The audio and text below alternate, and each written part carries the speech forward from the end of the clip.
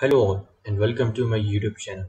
So today in this particular video, we're going to be seeing how we can extract word embeddings from the given sentence and even how we can extract the sentence em embeddings for the given sentences.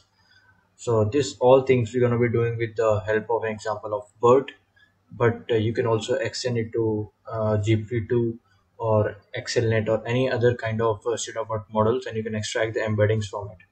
So today I'm going it uh, with the BERT model. You can experiment it with using the XLNet or GPT-2 or any other state-of-art model which you like to experiment on, experiment on it.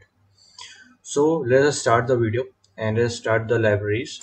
So let's install this pip install uh, simple transformer library. So I'm gonna be using this simple transformer library for the generation of or for all kind of NLP tasks. So let's solve it and let's see how we can extract the word mix from the sentence.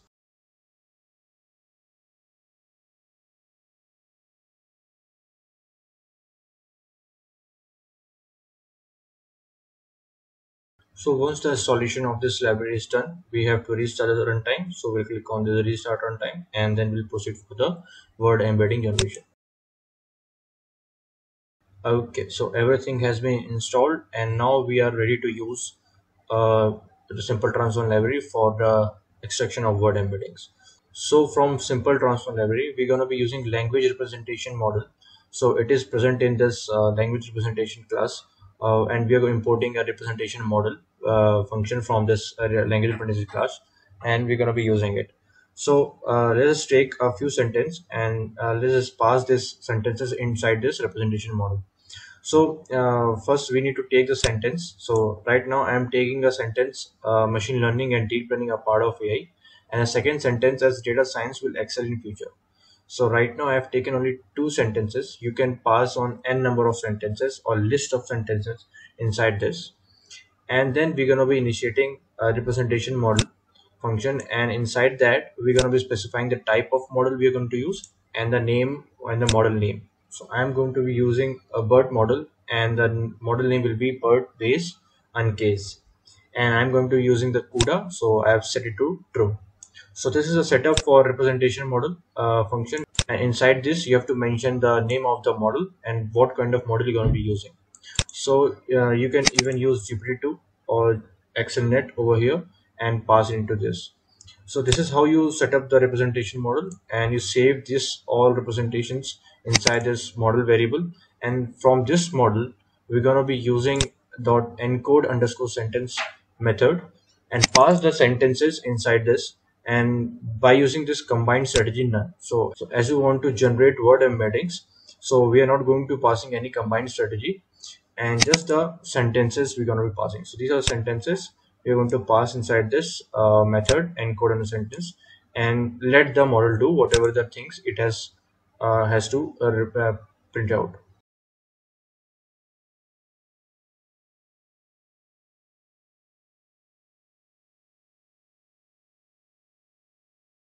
Okay so you have seen that it has stored all the models so uh, the models which are uh, generally mentioned as BERT case uncase so it has used and downloaded the BERT base uncase model.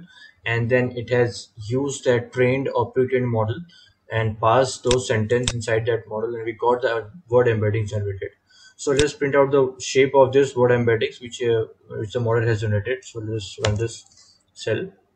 So as you can see uh, we have two sentences. So these are two sentences and for each sentence we had 11 uh, word. So if you count on this sentence it has nine words and it has only six words. So what it has done is it has taken this sentence the maximum length of sentence as an uh, benchmark and the remaining two words that is 10th and 11th word are the uh, tokens which generally represented by the BERT. So if you have BERT model, so generally the tokens are CLSS or separation tokens. So that's how the total will be 11.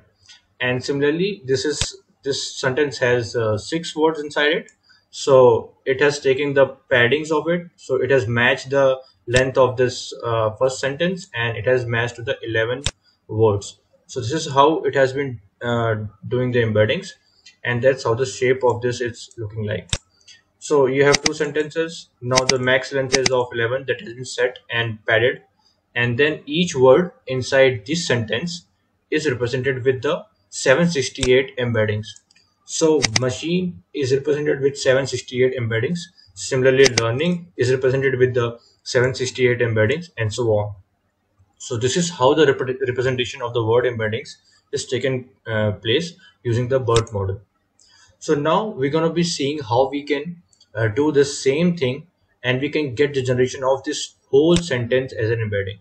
So right now we had embeddings for each and every word inside the sentence, but now we want to generate the sentence embeddings. That means the uh, embeddings which represent this whole sentence. So let's see how this can be done. So for this, I am taking the same example, the same sentences and the same code uh, which we have used above and just a minor change we are going to be doing is we're just going to be changing the combined strategy. So here in this combined strategy you have to mention the mean and it will take the mean of all those embeddings and it will generate the sentence embedding. So let's run this code and let's see what the shape would be. Okay so the sentence vectors are generated for those two sentences. So let us see the shape of those uh, those sentence vectors